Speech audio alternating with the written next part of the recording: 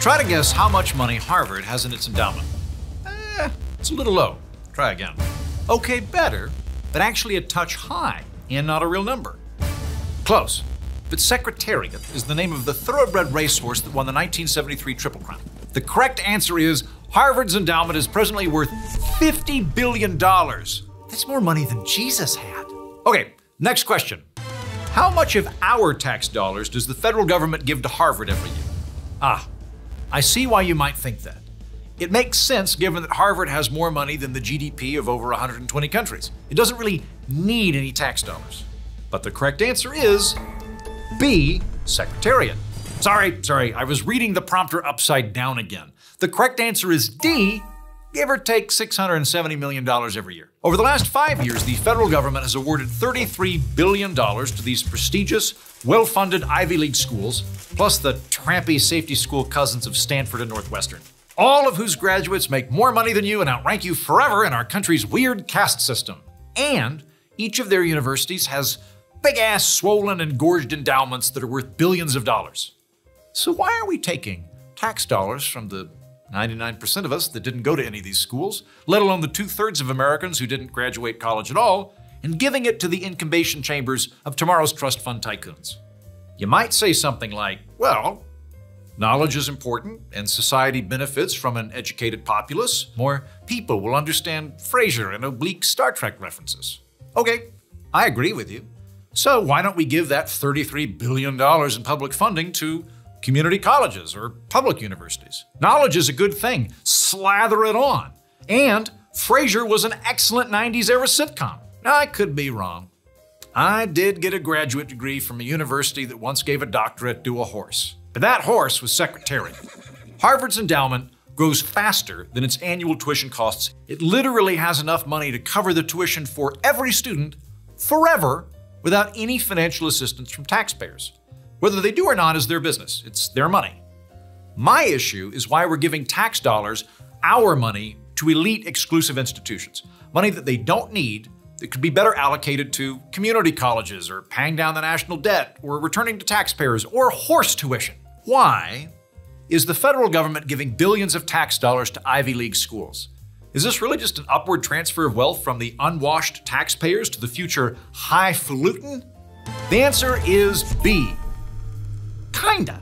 Most of the money the federal government gives to universities that matriculate the rich villain kids from 80s movies is not to help with tuition. Only about 16% of federal funding to the Ivy Leagues goes to tuition assistance and work study programs. About $5 billion over the last five years. That's still more than twice what the Department of Education awards Votech schools. But to be fair, yes, a minority of federal tax dollars are taken from you to provide tuition assistance to your future boss. Only $5 billion. Around 80% of tax dollars go to research grants, which are a lot easier to justify. Fancy pants universities do have some of the finest research facilities in the world, and the hottest scientists. For example, maybe the Department of Defense pays $50 million to Yale to give gorillas heat vision. Or NASA contracts Brown to conduct clinical trials on anti gravity gravy. Good things that would benefit the taxpayer. Those are both cooler and arguably less stupid than most of the other things the federal government pisses your money away on. A lot of the time, it's just giving money to sugar barons or figuring out ways to kill people in countries I've never heard of. So, research grants are arguably pretty benign, potentially even helpful. But only 4 billion of the $33 billion the federal government has given to fancy schools over the last decade came in the form of contracts, where the federal government allotted funding for specific objectives. Most of that money goes to more general research grants. And for every dollar of specific strings attached research grants universities obtain from the federal government, they charge an average of 64 cents for overhead. Not the grant itself, just, you know, keeping the lights on, janitorial staff, facility maintenance, administrator salaries, stashing the money away in their swollen, engorged, heaving endowments. The federal government began sending money to university scientific research programs in mass during the Cold War as part of our national program to irritate or blow up communists. Universities understandably said, We would like some of that scratch, but we also need basic money for overhead to execute the research. So we'll take that DARPA funding to capture and weaponize Bigfoot but you'll have to set aside some cash for us to maintain the shock collars. And the federal government said, all right, if there's a shot Bigfoot strangles Castro, we'll do it. Initially, overhead was capped at 8% of research. So the Defense Department would give a grant to teach American dolphins to insult communist dolphins, and the feds would also pay for the overhead on that, the dolphin shrimp or dolphin condoms. I don't know how this stuff works. In any event, 8% was the cap on the overhead. Then that was raised to 15%, and finally in 1966, the cap was removed altogether. The federal government said, just let us know how much you think overhead will cost a given project, and be sure to use an arbitrary cost formula that's super easy to inflate the numbers on. The result? Bigfoot hardly strangled Castro at all. And by most accounts, Fidel liked it. Meanwhile, with no caps on overhead, guess what happened? You're not going to believe this. You're not going to believe this. Universities suddenly started charging more for general overhead. By 1991, Stanford was charging an average of 78% per federal research grant on indirect costs. Until, and I'm not making this up, Congress discovered that they'd used some of that money to fund a yacht. I would like to repeat this. Stanford inflated its indirect costs and used the research money in part for administrators to redecorate their offices, purchase silk sheets, buy flower arrangements, go on a trip to Paris, and depreciation on a literal fing yacht. Then lumped all of that stuff under indirect research costs. They had to give more than a million dollars back to the federal government for, you know, embezzling, tax dollars, but with elbow patches. The scandal got so bad there, and also MIT, and Johns Hopkins, and UCLA, and Harvard, that Congress threatened to cap overhead funding again. I expect that kind of shit from Johns Hopkins, but UCLA? Astonishingly, with threats of caps looming like Bigfoot over a commie dictator, overhead expenses at universities suddenly dropped. How about that? But since then, they've been creeping up again like a horny dolphin stuck in Ho Chi Minh. Today, around every dollar of research grant the federal government gives to a university, the university gets an additional 50 to 60 cents in indirect costs, which are negotiated between the feds and each university.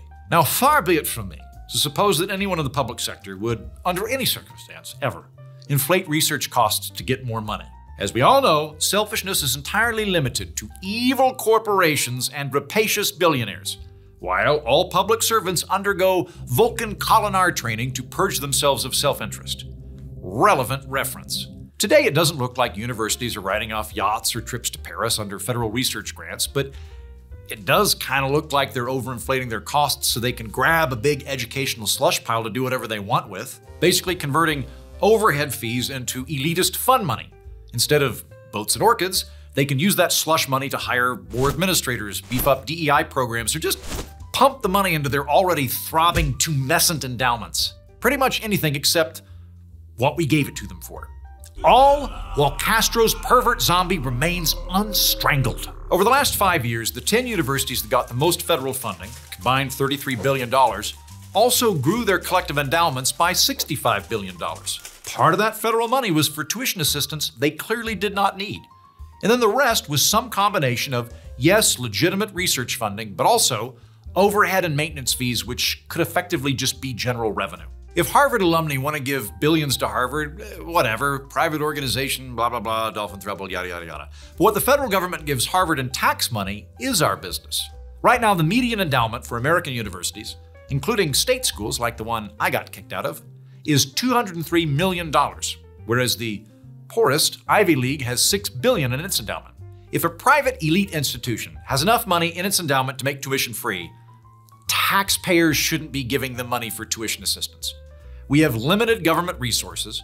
If we're going to give tax dollars to higher ed, can we at least prioritize schools who need it over schools who have endowments literally larger than the GDP of Uganda? And if we're going to give billions of dollars in research grants to universities, let's cap what universities can charge for overhead.